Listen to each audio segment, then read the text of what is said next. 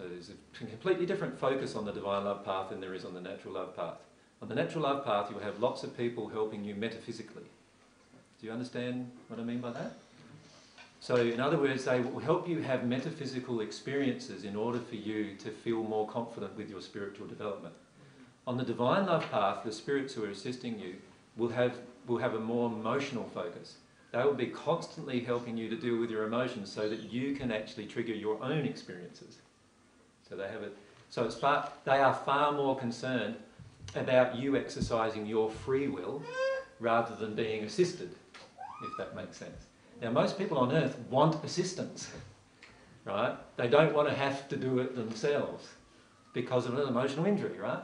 Emotional injury is I'm not good enough to do it myself. You know, I, I need help and assistance. I need someone to give me the leg up or whatever. And because of those emotions, we are constantly looking for help from spirits who will help us even though they're not helping our emotions. Right? And because of that, we attract natural love spirits. Divine love spirits are always going to focus on your emotions. Always. And they're going to focus on you being real at any point in your development.